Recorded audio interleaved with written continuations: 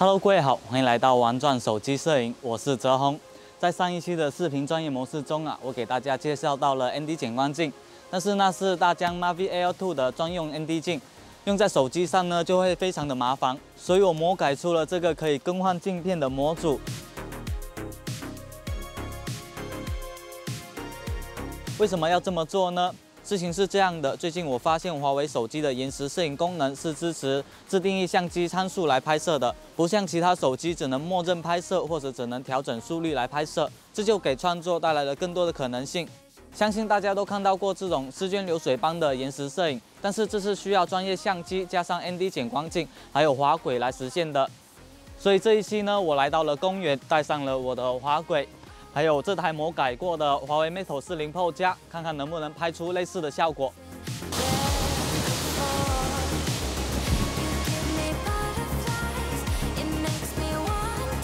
好，我们先来拍一张看看，这样拍出来是这样的，平平无奇。那我们用那个丝绢流水功能来试一下。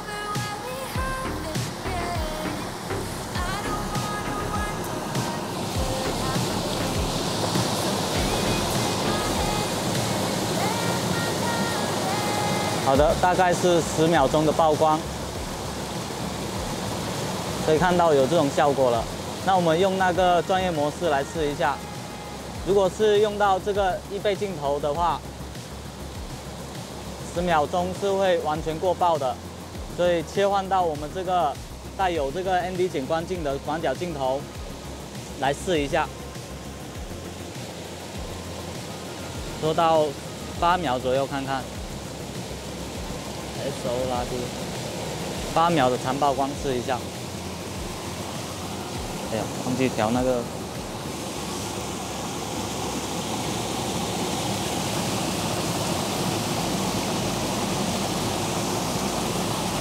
有那个效果了，再调整一下，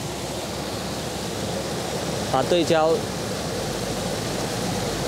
拉到最远就行了，白平衡试置一下，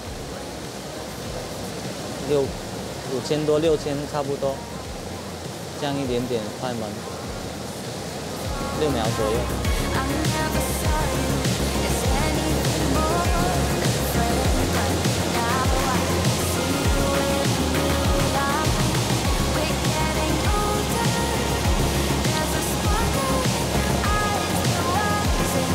所以有那个效果了，大概就是这个参数。然后我们拿出我们的滑轨，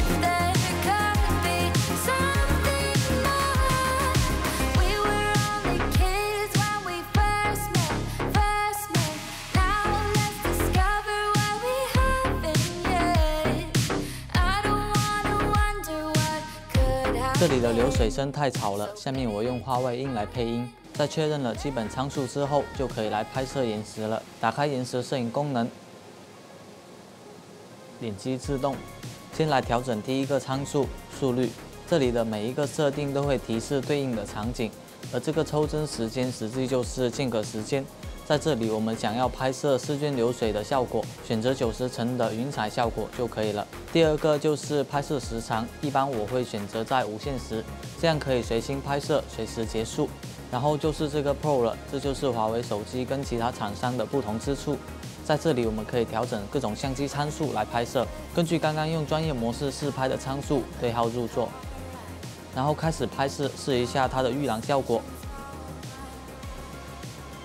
感觉各种参数都 OK 了之后，就可以设置这个洋葱工厂日狗三代的电控滑轨了。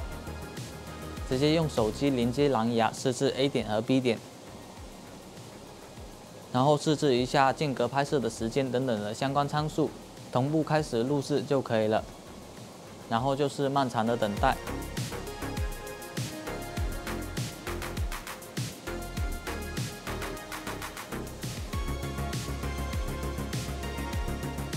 拍了有三十三分钟左右了，结束来看看效果。最终合成了一个八秒钟的丝绢流水延时视频，在滑轨和 ND 滤镜的帮助下，类似的效果已经有了，但是好像有点翻车了。我觉得应该是这个水流在不同程度冲击时，水面反射光线造成的亮度闪动。好的，以上就是本期玩转手机摄影分享的全部内容。本来还想多拍几个场景给大家演示一下的，但是没办法，它拉闸了，没有水了。那希望本期视频对大家有所帮助，我们。